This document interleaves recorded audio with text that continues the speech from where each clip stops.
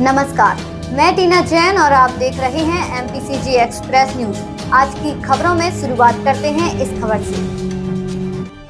बागेश्वर धाम महाराज से मिलने एमबीबीएस की छात्रा शिवरंजनी कर रही पैदल यात्रा। गंगोत्री से पैदल यात्रा करके बागेश्वर धाम पहुँचने का दावा करने वाली शिवरंजनी आज गली मनहरा पहुँची। हालाँकि उनके पैदल चलकर पहुँचने के दावे में संशय है, क्योंकि इतनी लंबी यात्रा इतनी जल्दी कर पाना संभव नहीं है। शिवरंजनी के चेहरे पर कहीं थकान के भाव नहीं देखे गए। शादी के प्रस्ताव को लेकर सर पर कलश रख कर निकली शिवरंजनी, कहती हैं कि पर्चे में ही निर्णय निकलेगा। पीठाधीश्वर धीरेन्द्र शास्त्री के यहाँ मौजूद न होने की बात पर शिवरंजनी ने कहा कि उनसे मुलाकात ज़रूर होगी। फ़िलहाल अब सिंधरंजनी चर्चा का विषय बनी है। देखना ये होगा कि आखिर शिवरंजनी के बागेश्वर धाम पहुँचने पर क्या होता है। सुनिए क्या कहती है शिवरंजनी।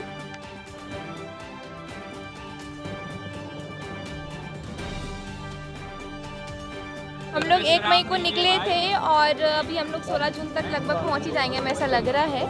और गंगोत्री से स्टार्ट हुई थी यात्रा। ये क्या मनोकामना लेकर जा रही है बागेश्वर बागेश्वर धाम सरकार बताएँगे पर्चा खोल दी जो उन्होंने लिखा है पर्चे में। क्या आप परीक्षा लेने जा रही उद्देश्य होगा होंगी? जब आप निकली? नहीं मेरे उद्देश्य तो बहुत सारे लेकिन सब पर्चे में खुलासा होगा।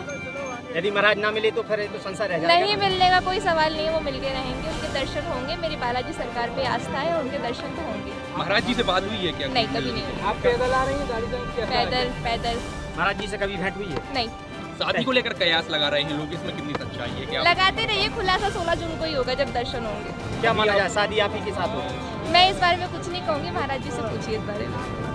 महाराज जी तो अज्ञातवास में हैं। आपके पहुँचने के पहले अज्ञातवास में चले जाएँगे। लेकिन उनके दर्शन होके रहेंगे भले वो अज्ञातवास में क्यों ना हो लेकिन दर्शन तो करने आ रहे हैं कि कोई कोई और उद्देश्य है आपका? जो भी उद्देश्य है वहीं जाके क्लियर होंगे। मतलब बताना नहीं चाहेंगे अभी किसी को आप कुछ।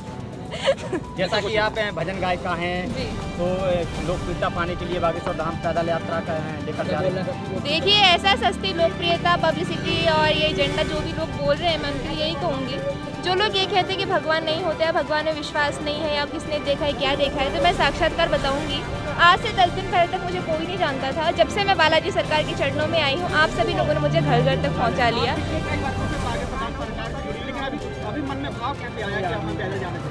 तो पैदल तो मुझे जाना ही था और जब मैं देखती थी बचपन में जब भागवत कथा करती थी तब उस टाइम भी जो छोटी छोटी बच्चियाँ कलश यात्रा करती थी उनको देख के मेरे मन में विचार था कि मैं कलश यात्रा करूँगी इसलिए बस मैं कर आप रात्रि में विश्राम करते हैं कहाँ रुकते हैं कैसे इंतज़ाम होता है? दिनचर्या रहती कैसी है रहती पूरा है आपका सेटअप क्या रहता हूँ? रात्रि में जहाँ पर बालाजी सरकार कृपा कर देते वहीं पे रुक जाते हैं जहाँ से बोल देते चलो।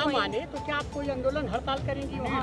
फ़िलहाल इस बारे में मुझे कुछ नहीं पता कुछ नहीं पता मुझे बारे में। तो। उस बारे में बाद में बात करेंगे। छात्रा हैं और है।